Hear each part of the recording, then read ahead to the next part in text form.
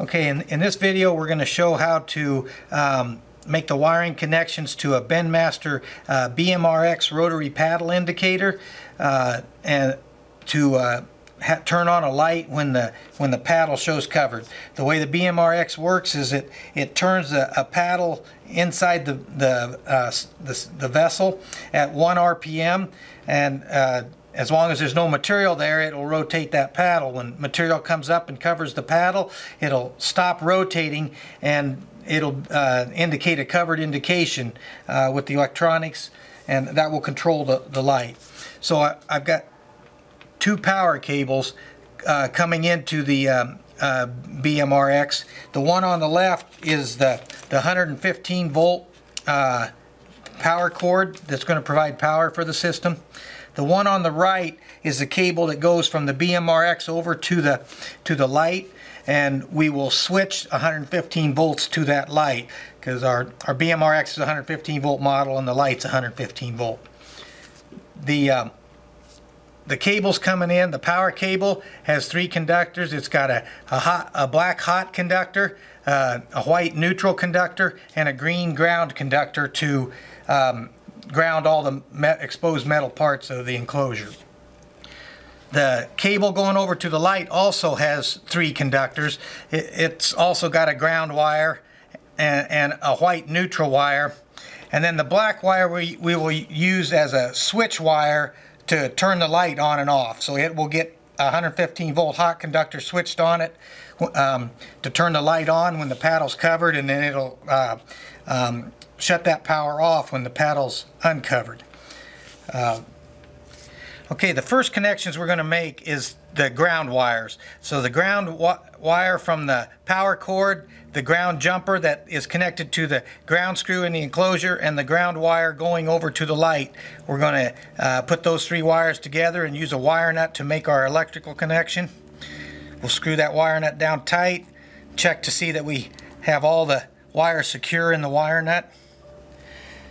Now, to make the connections to the circuit board, since I'm going to have uh, uh, two neutral wires to have to connect to, I'm going to use jumper wires to connect directly to the terminals on the circuit board. The, there's a two terminal terminal on the far left. This is for your power wires. It's labeled power ab above it. And the two terminals, the, the uh, farthest left terminal is the N terminal and the one just to the right of it is the L terminal. The N terminals for the for the white neutral wire. So we're going to connect a, a white wire there. Secure that wire in the terminal. Now we'll take that wire, that white wire, and we're going to connect it to the to the new the white neutral wire coming in the power cord, and we're going to connect the white neutral wire that goes to the light. These will be unswitched. It'll be direct neutral to the light. So we'll put a wire net on to secure those. Pull on each wire to make sure they're in there tight.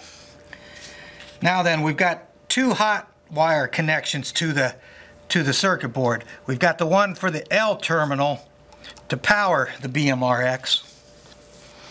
So we'll put that in the L terminal and tighten it down. And the second one will go to the 1C terminal. There's two sets of, of um, uh, contacts that we could use. There's the number one set, which has a common and a normally open and normally closed. So it's 1C, 1NO, and 1NC. And we could use the other set, which is, is uh, 2C, 2NO, and 2NC. Uh, that could be used if you're needing to switch two different circuits. There is a diagram identifying which terminal um, goes to which contact on the relay and the power terminals. It's on this uh, partition in the unit. You probably can't see it very well, but here um, is what that partition looks like and what the uh, diagram looks like. Um, so I need to connect the second black hot conductor to the 1C terminal.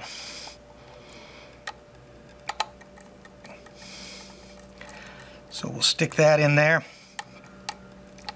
If you were using small wires, you could probably jump from the L terminal over to the 1C terminal, but we're going to uh, use a jumper wire and wire nut these connections together. So now we'll connect the, the black hot conductor of the power cord to these two black um, hot conductors that, that connect to the circuit board.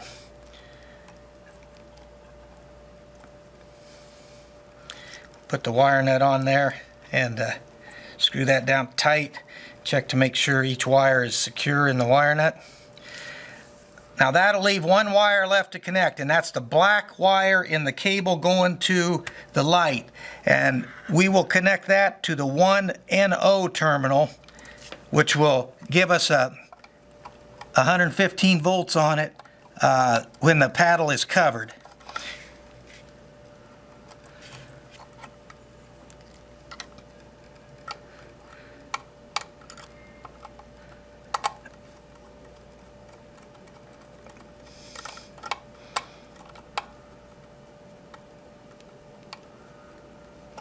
Make sure those are all secured in there. Okay, that's all of our wiring connections. Now we're going to tuck the wires down into the wiring compartment so they're out of the way. Like that. And then we can put the cover on the on the um, okay now we're ready to make the connections over at the light um, well, it's the light has a, a, metal enclosure so we'll need to ground it so we'll connect our green ground wire coming in the cable to the to the the green ground wire in the light just use a wire nut in the same way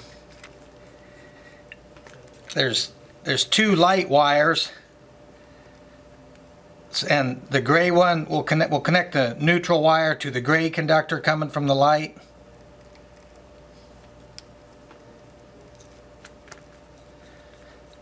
Screw that wire nut on, make sure both wires are secured in there.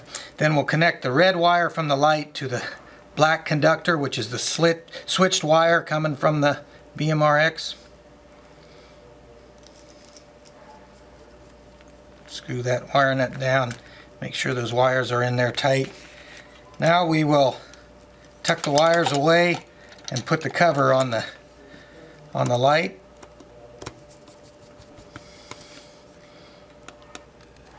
Okay, now that we've got all our wiring connections made, we're going to power the system up. So I'm going to plug the 115 volt power cord in. Now, the paddle is going to rotate. It rotates at 1 RPM. We have an assortment of different paddles. This one is a smaller paddle meant for a heavier product, uh, like an aggregate or just a heavy product that, that can stop um, a smaller paddle and that, but so uh, the light is off while the paddle's rotating and then if I stop this paddle from rotating it's got about a second and a half to two second delay and then the the uh, light will, will turn on. This is a flashing light. It's not the BMRX causing it to flash like that. It's just that's the style of light it is. Then when I, I let off the paddle the um, the light will shut off. Paddle start turning again. If I stop it again after about a second and a half to two seconds, the uh, light will turn on, giving a covered indication. Then we'll let off of it and let it rotate. If you wanted the light to come on when it was uncovered, instead of connecting to the 1NO terminal with our switched black switched wire, we would connect it to the 1NC terminal. Then the light would be on when the paddle was rotating and shut off when the paddle uh, got covered and stopped rotating.